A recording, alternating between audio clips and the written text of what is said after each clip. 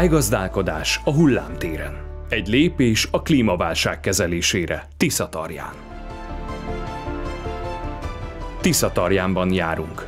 A település Borsodabau Zemplén megyében a Tisza partján fekszik. A kiszámíthatatlan, erőteljes áradásoknak, a tartós és egyre gyakoribb aszályoknak, valamint a belvíznek egyaránt kitett. Az ártéren a legnagyobb problémát az özönnövények, különösen a gyalogakác térhódítása okozza. Ehhez társult az elmúlt években a Tisza alacsony szintje és az asszály. Az éghajlatváltozás miatt fokozódó szélsőséges körülményekhez pedig alkalmazkodniuk kell. Tiszatarjánnak ez az átéri része, ez tulajdonképpen 32 hektár, és ez a mostani projektünk a 6 hektáron elterülő terület, ahol bivaj és szarvasmarháknak az élőhelye van.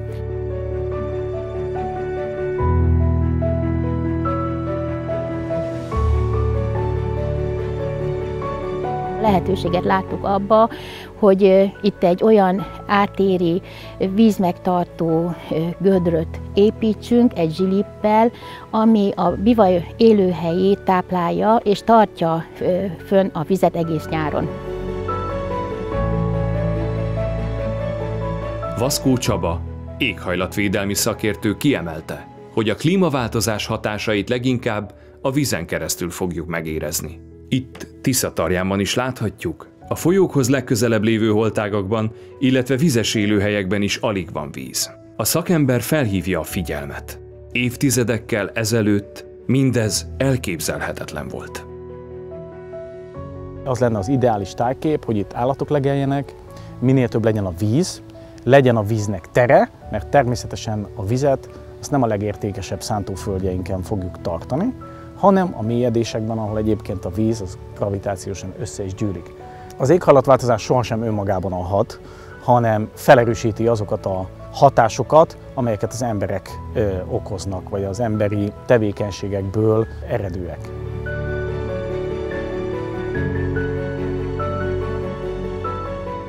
A megváltozott körülményekhez alkalmazkodnunk kell. Ezért elindult egy projekt, ami segíti az éghajlatváltozás hatásainak leginkább kitett magyarországi kistelepüléseket, a klímaváltozásra való felkészülésben, és egyben utat mutat a szélsőségeket kiegyenlítő, vízmegőrző vízgazdálkodás irányába. A projektben alkalmazott, úgynevezett természetre alapozott vízmegtartó megoldások területeket adnak vissza a víznek, ezzel elősegítik a vízbázisok, a talaj és a vizes élőhelyek víztározó szerepének helyreállítását. Javítják a lakosság életfeltételeit, segítik a károk elkerülését és élőhelyet teremtenek. Mindez az éghajlatváltozással szembeni ellenálló képességet is javítja, ami nagyon fontos, hiszen a ma tapasztalt hatásokkal és azok fokozódásával már mindenképpen számolnunk kell.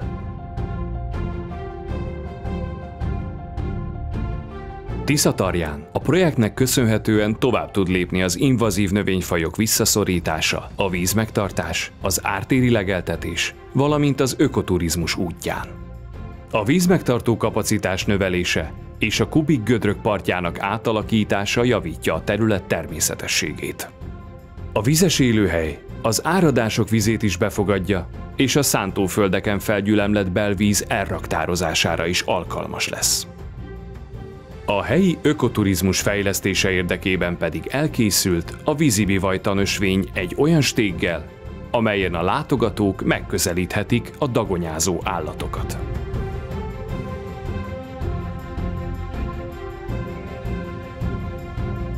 Az árterek a leggazdagabb élővilággal rendelkeznek. Nagyon sok faj, növény és állatfaj megtalálja itt az életfeltételeit, de ehhez az kell, hogy ezt a természet közeli környezetet tartsuk fent, és ne engedjük például, hogy olyan özönnövények, mint a gyalogakác elözönöljék az egész területet, és kiszorítsák a, a korábbi őshonos élővilágot.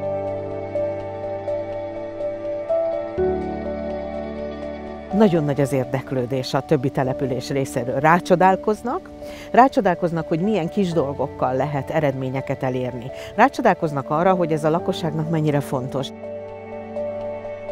Habár a munkahatása hosszú távon lesz igazán érezhető, az eddigi tapasztalatok alapján eredményesnek tűnnek a problémákra alkalmazott kísérleti megoldások.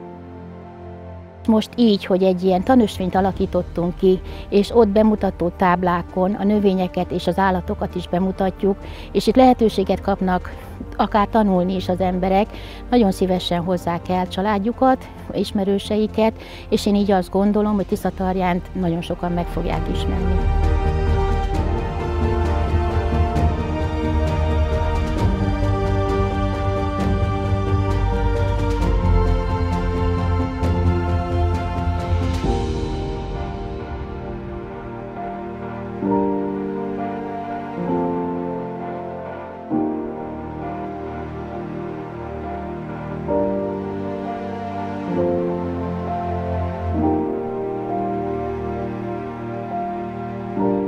Készült a Life Micac projekt keretében.